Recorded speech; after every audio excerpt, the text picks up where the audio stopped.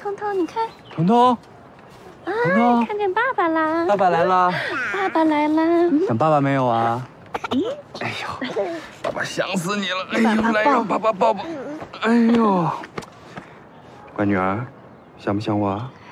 看我们彤彤长大了，可以自己拿着奶瓶喝奶喽。还真是啊。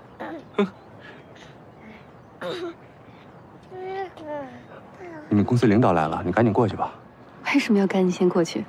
我刚才进来时候都看见了，这不就是你们公司高管的家庭聚会吗？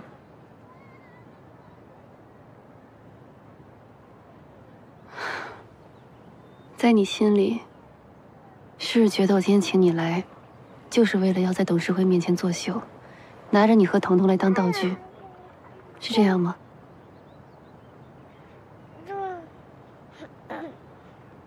乔瑞，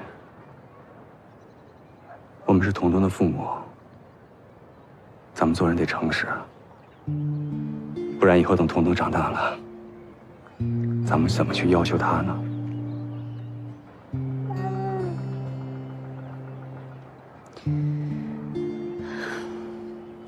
那我今天就跟你诚实一点，你总是把我想象成一个为了事业可以不择手段的女人，一个为了工作可以随时抛弃自己女儿的妈妈。为什么你就不明白，我现在做的一切都是为了在修复我们之间的关系呢？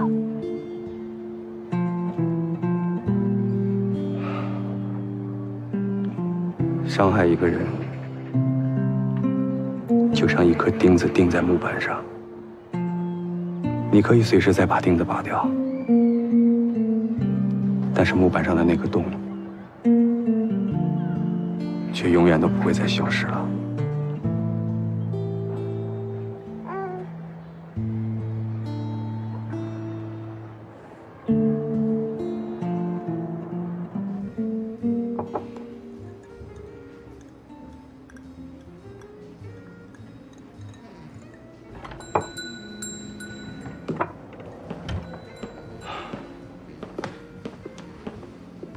你好，给我来杯威士忌。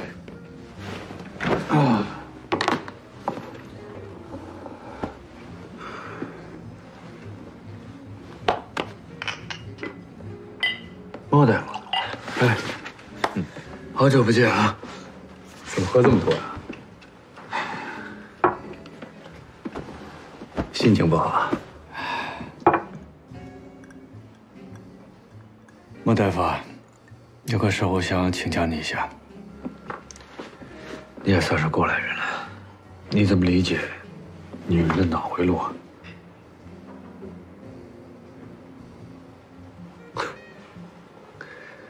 你 可千万别问我这种问题啊！我能告诉你的，可全都是反面教材。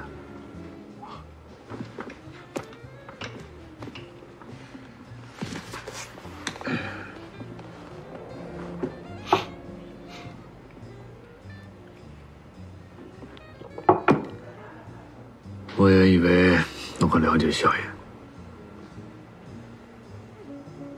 因为他已经完全接受了我。我今天发现，他依然不愿意我走进他的生活。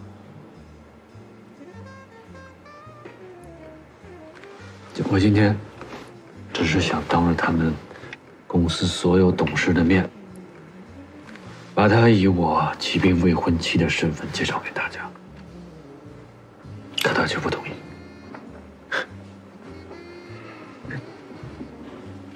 你说我这么做，是我做错了？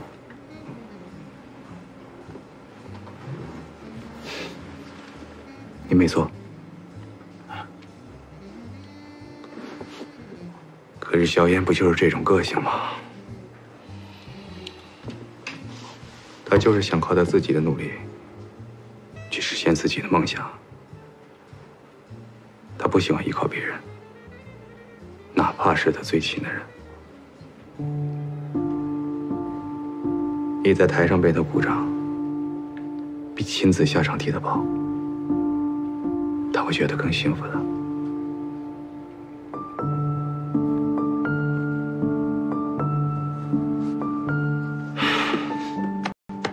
别那么悲观。你求婚成功，我还没好好祝贺你呢。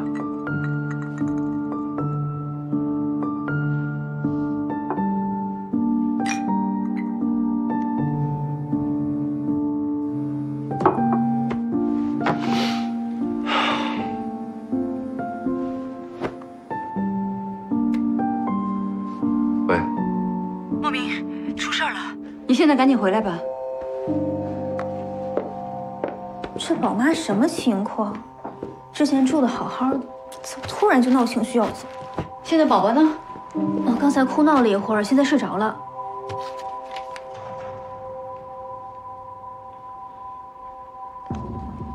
你随时监控宝宝情况，有什么事情跟我说，我下去看看。我拜托你了，我现在必须马上离开。刘女士，您独自离开，这是不符合我们的管理制度的。何况，别说了，我知道你担心什么，我都把宝宝留在你们这儿了，你还怕我不回来不成？刘女士，我是这里的负责人肖烟，现在是有什么问题吗？没什么问题，我就是要离开，立刻马上。您是有什么急事要处理吗？方便告知原因吗？不方便。这拘留呢是我的自由，怎么？我要一个特赦才能离开？是这样的，我们是有规定的，不允许没有在监护人陪同的情况下把宝宝单独留在这儿的。我知道您才入住了两天，是不是对我们这儿的服务有什么不满意？我可以根据您的需求进行调整。倒也没什么不满意的。我呢，吃得好，睡得香，宝宝照顾的也是不错的。但是，你这什么意思啊？您先别生气，我们公司确实是有规定的，入住客人在离开之前必须办理完所有手续，包括结清账单。还有小周，我想先听听刘女士的看法。你们广告说的挺好听啊，用心照顾妈妈和宝宝，怎么，现在发生了急事了，你只关心钱和收益是吧？这就是你们的用心吗？客户的需求就是我们服务的根本。那行，那现在你没什么理由阻止我离开了吧？宝妈，宝妈，宝宝一直哭，你看他是不是饿了呀？宝宝别哭，他不可能饿的，半小时之前我是喂过的。你们想留我下来是吧？你们想方设法留我下来是没用的，别哭啊，宝宝。哎呀，怎么了？怎么搞的你们？是宝宝哪不舒服吗？我看看。你怎么一身酒气啊？你们这医生可以喝完酒了照顾宝宝吗？不是这样的，我给你们拍下来。刘女士，刘女士，我们今天有些误会。我看您执意要离开，所以通知家属来接您。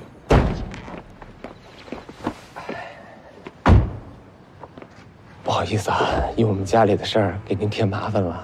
你到底走不走？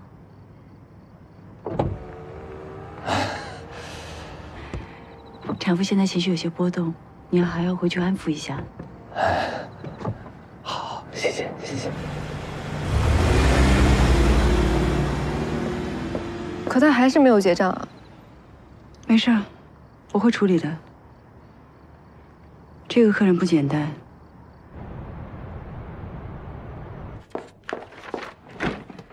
瑞姐，月子中心出大事儿了。出什么大事儿了？我刚刚还在电梯间碰到理查了，他说最近月子中心业绩不错，要真出大事儿了，他不早就疯了。绝对真实内幕，就连理查也不一定知道。人力资源部的小罗偷偷告诉我的，今天下午人力资源部总监将亲自去月子中心约谈所有的员工，调查一起特别严重的客户投诉事件。总监只带小罗去，不允许向其他人透露。如果不允许向其他人透露的话，小罗为什么还要告诉你？那要看我跟他是什么关系啦。有客户投诉，莫名在值夜班时喝酒。肖烟作为负责人，放纵下属的行为已经严重危害了入住宝妈们的身心健康。莫名对工作的态度我还是知道的，他不会这么做的。嗯，那倒也是。但是，小罗说客户是实名投诉，而且对方来头不小，要不然人力资源部也不会这么重视。这下肖央可惹上大麻烦喽。现在这种情况下，我们都不要参与外界的议论，去吧。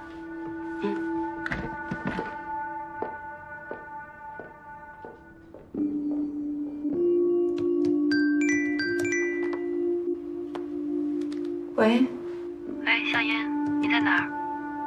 我除了月子中心还能去哪儿啊？我们午餐时间约个地方见面聊吧。你最近频繁约我，这不像你性格啊。你放心，在不久的将来，我就要坐在你的楼上的办公室，到时候你天天看我都厌烦了。有遇到什么麻烦？怎么了？现在有人投诉月子中心，集团高度重视。今天下午就会有人力资源部的人亲自到月子中心去调查。你是在哪听到些小道消息啊？我只知道，客户向集团投诉月子中心，消息是否准确，你心里应该有判断。好的，谢谢提醒啊，我心里有数。想请你帮个忙，找合适的时间劝劝莫名，别喝酒了。你那么关心他，你为什么不自己跟他说？我现在说什么，他可能都觉得是多余的。以后，我和他除了彤彤的事情，也不会再有什么交集了。我挂了。这个人看着是在关心我，实际是在关心你啊。我跟陈小蕊啊，现在就是两个不同频的波段。不过你喝酒的事情连陈娇蕊都知道了，这就说明客户一并投诉了。也没关系，反正你也不是在值班的时候喝酒。我会跟董事会说明白的。我无所谓，大不了我就辞职不干了。倒是你，我也无所谓，大不了我也不干了。啊，你赶紧看一下。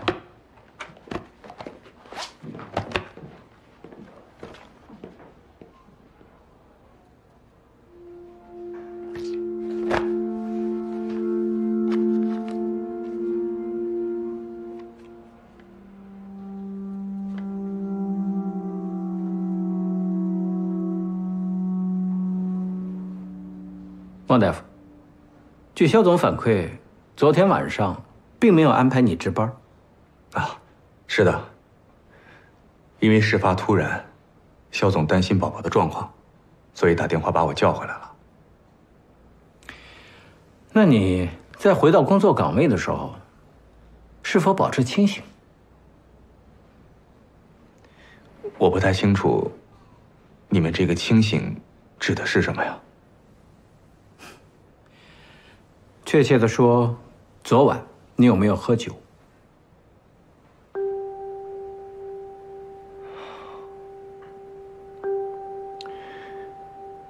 下班之后，我确实喝了点酒。喝酒了？但是肖总是完全不知情的。如果有什么问题，我愿意一个人承担全部责任。莫大夫，站在您的角度，如何看待宝妈投诉这件事儿？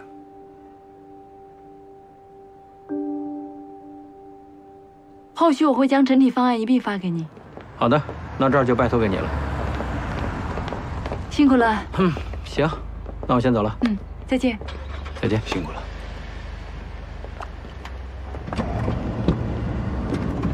拜拜。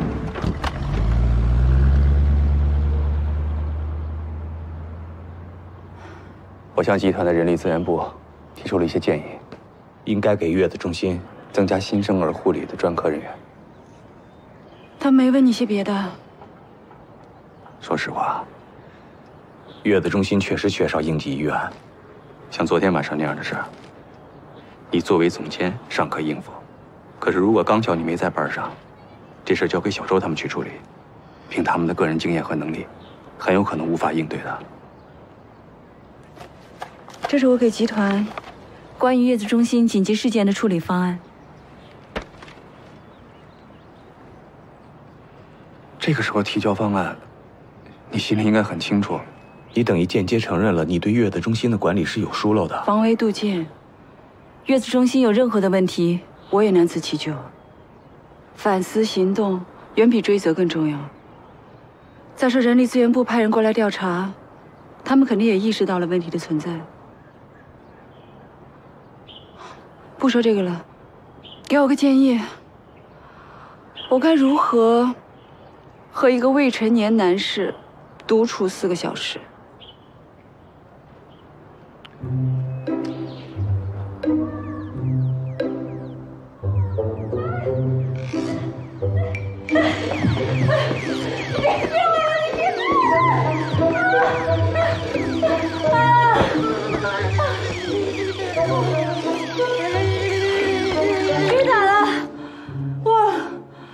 我总算是知道你妈如何保持少女身材了，太累了。陪我玩，陪我玩，陪我玩，陪我玩。哎呀，聪聪，我们玩装死游戏好不好？我死了，不要，不好玩。不要，不好玩。不要，不好玩。不要，不好玩。来来，聪聪小朋友在家吗？他怎么知道我的名字？对呀，所以我们聪聪自己开门好不好？三二一，开门。易呀，你好，你是聪聪对吗？你是谁？我是今天晚上代班爸爸，这是给你的礼物。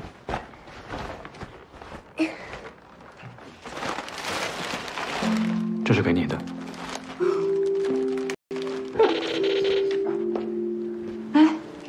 牛奶。来，喝一口，别噎着啊。嗯，好，来，咱们接着玩。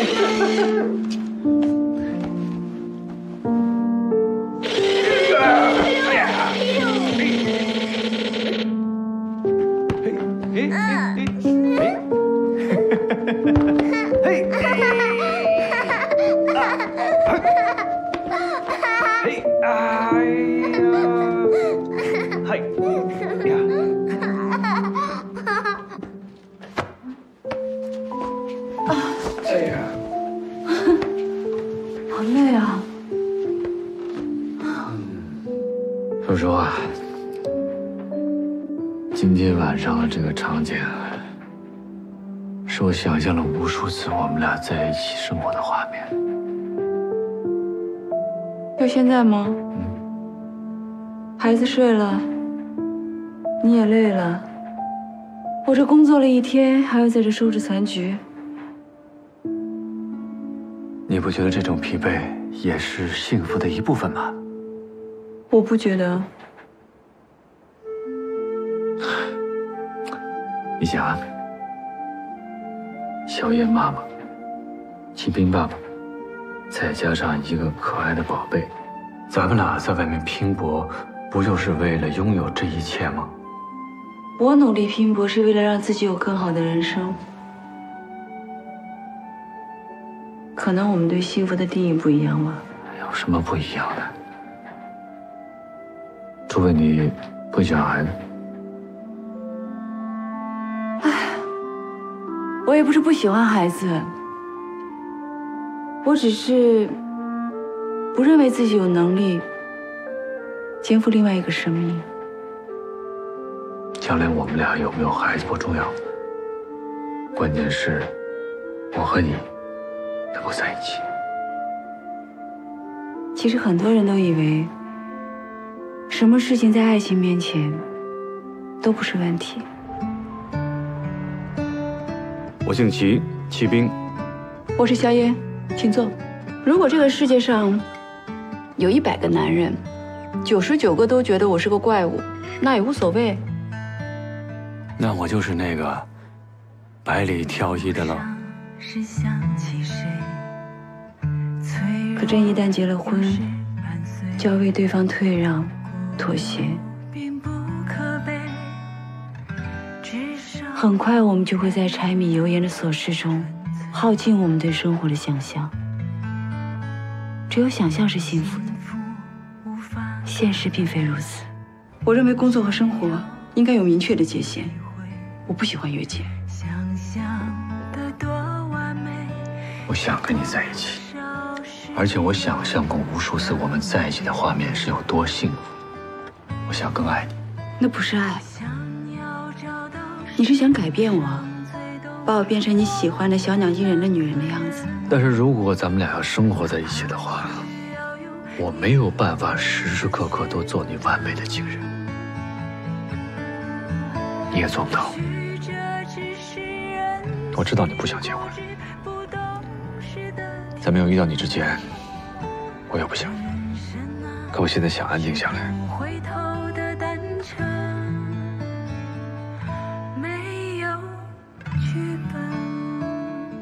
可如果真的到那个时候，我们还会说我们是相爱的吗？小燕，我希望你能够抛开所有的顾虑，记住，你的选择就是我的选择。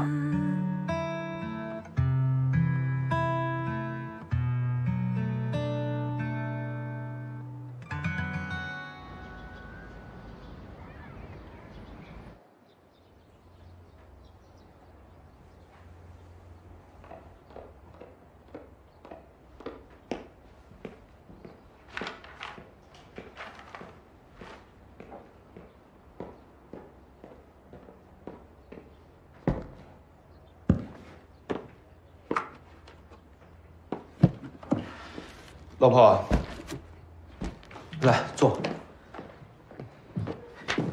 坐。嗯，我问你啊，你卖房子是想开这个亲子餐厅？你觉得怎么样？这个亲子餐厅的项目现在挺有市场的。嗯，但是你们要想在市场上独树一帜的话，你们必须得做出你们自己的特点。比如说啊，呃，在一些节假日，你们要推出不同的主题套餐，呃，还有在装修方面，你们要设计不同年龄段的儿童游玩区域，还有一对对对，些细节。我觉得你说的非常有道理。那，你同意了吗？这个项目虽然前景非常好，但是它的风险也会很大。你想好了吗？其实这也是我比较担心的问题。万一我是说万一啊，嗯我因为这个亲子餐厅把咱俩的钱赔得一干二净了，你会怪我吗？那你愿意跟我一起睡马路吗？我大学刚毕业那会儿什么都没有，你不是也把你人给我了吗？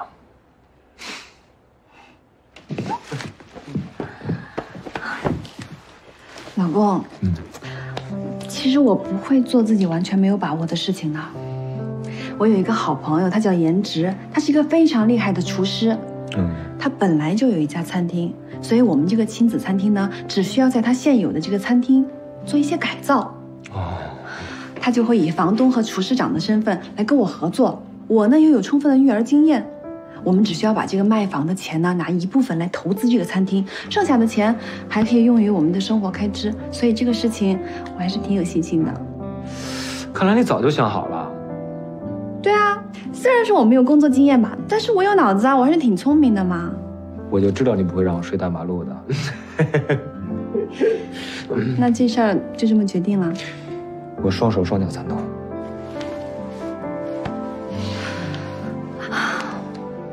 谢谢你这么支持我。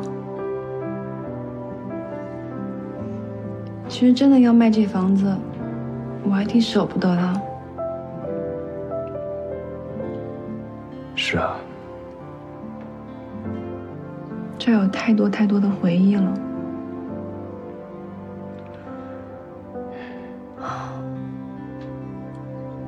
没关系，只要一家人在一起，会有更多回忆的，对吧？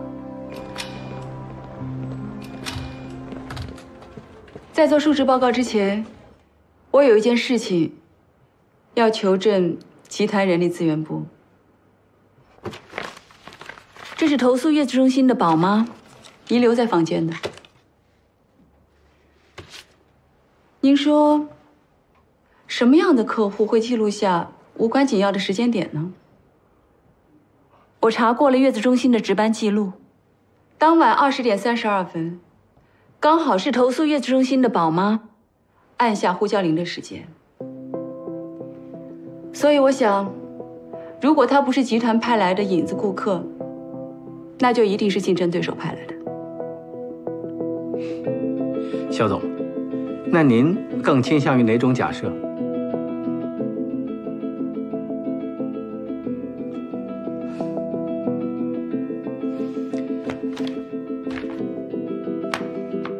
非常抱歉，是我们的神秘顾客工作上的失误。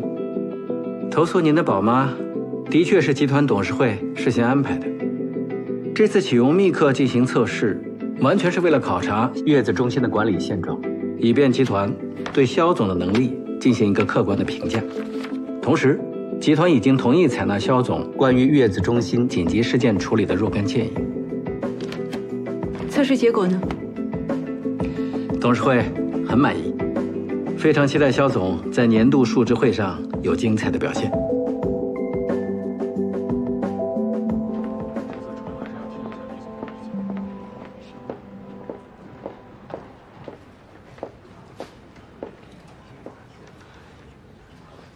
陈总呢？孩子病了，陈总正在来的路上呢。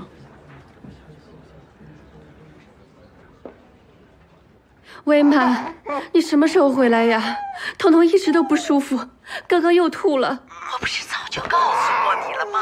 今天市里领导来视察，我一定要在的。妈，今天对我来说真的很重要，我求求你了，你再帮我一次行不行？我不跟你讲了，不跟你讲了。妈，妈。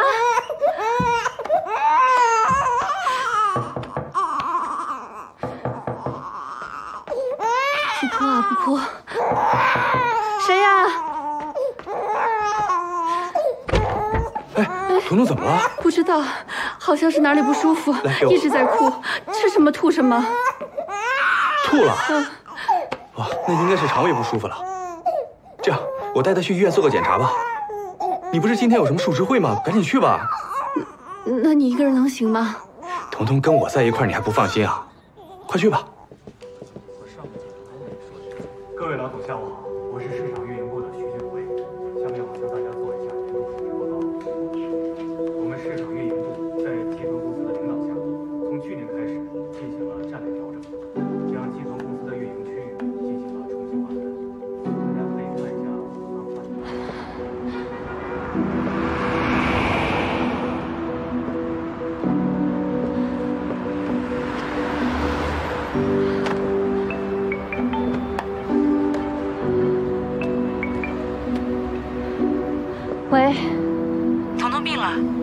你怎么办？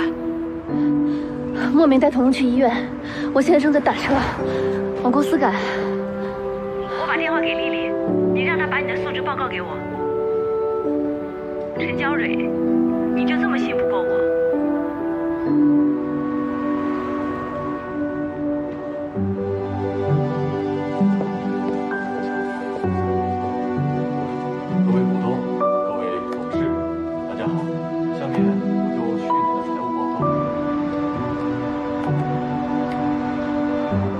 喂，丽丽，按肖总说的办，我马上就到。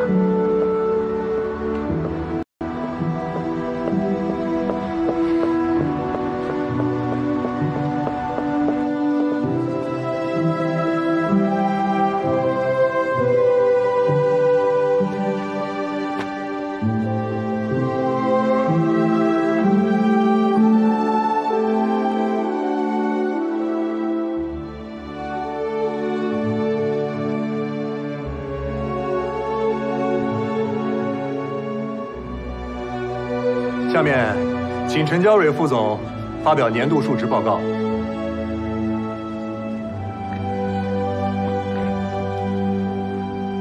马总，陈总好像家里有事，一直没过来。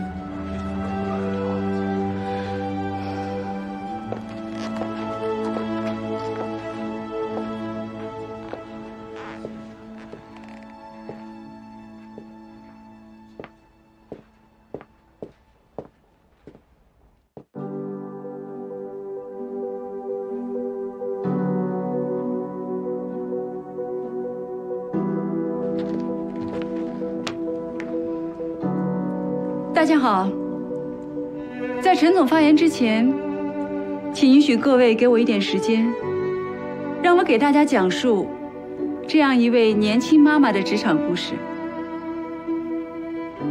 她在最好的年龄进入西雅工作，从此，她认为自己拥有最值得期待的人生梦想。她无比投入的工作，甚至顾不上自己的个人生活。有一天，他遇到自己心爱的人，很快的结婚了，有了心爱的宝宝。家庭、工作、孩子，一切都是他义不容辞的责任。有纠结，有挫败，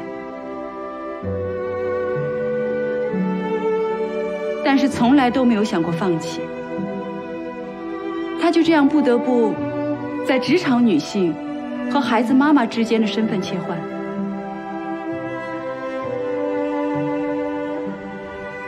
我曾经执拗地认为，阻碍女性发展的一定是孩子。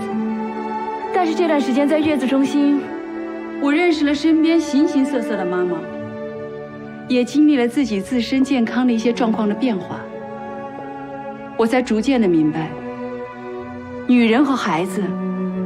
并不是矛盾体，而是共生体。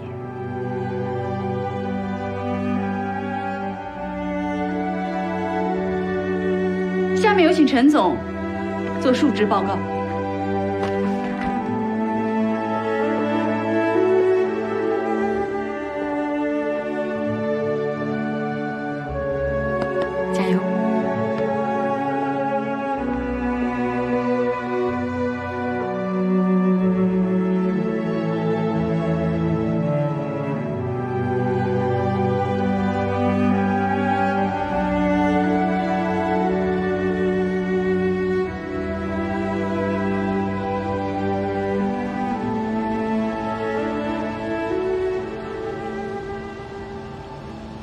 今天，如果不是你替我站台，我就会失去这次机会。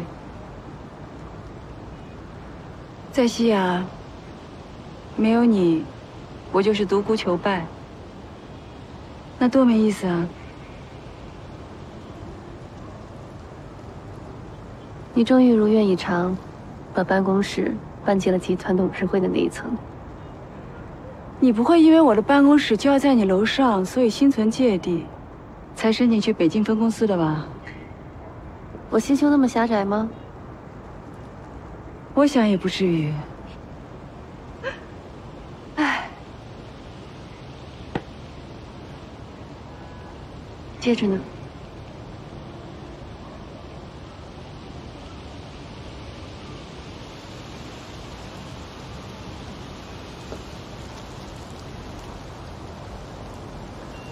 你有没有觉得我们两个人很像？这个世界上没有两片相同的叶子。我们都一样，都是有野心的女人。那不是野心，是我们为之奋斗的梦想。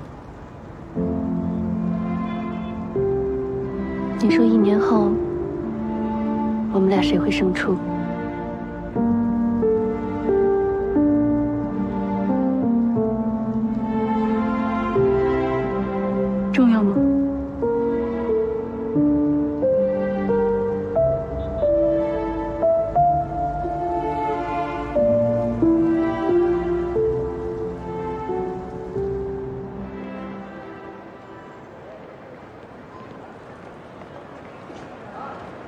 没愉，快谢谢。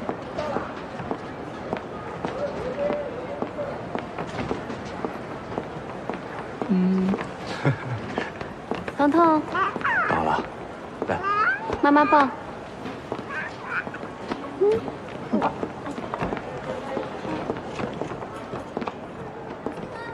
怎么这么着急去北京啊？西雅在北京新的事业部刚刚成立。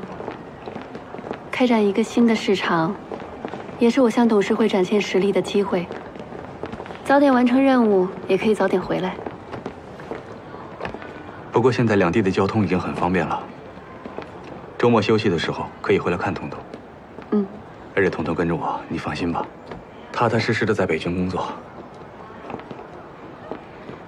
我和李美娥也聊过了，她愿意继续照顾彤彤，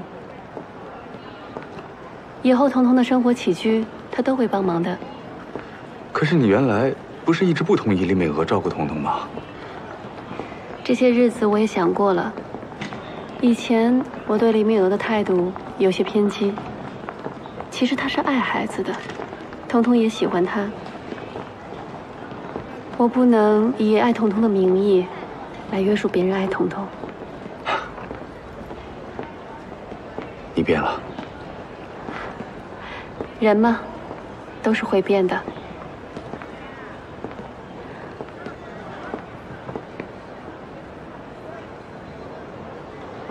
谢谢你来送我。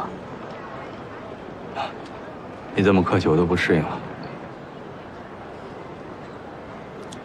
人和人之间是有界限的。是我以前把这个界限给弄混了，莫明。我希望我们都会有新的开始。嗯。彤彤，妈妈要走了，你会想妈妈吗？你想彤彤的时候，可以给我打视频电话。彤彤第一次笑的时候，刚好是我休完产假去上班。第一次会爬，也是我出差在外地。真的不知道，以后我不在他身边的时候，还要错过多少个彤彤的第一次。等彤彤长大了，他一定会理解你的。他一定会为自己有这么一个努力的母亲而感到骄傲。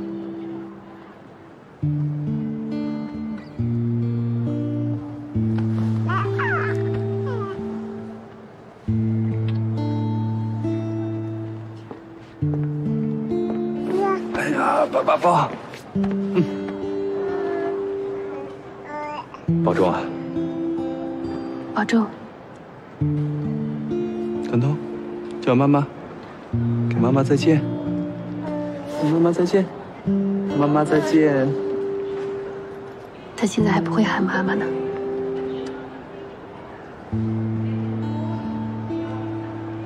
走了。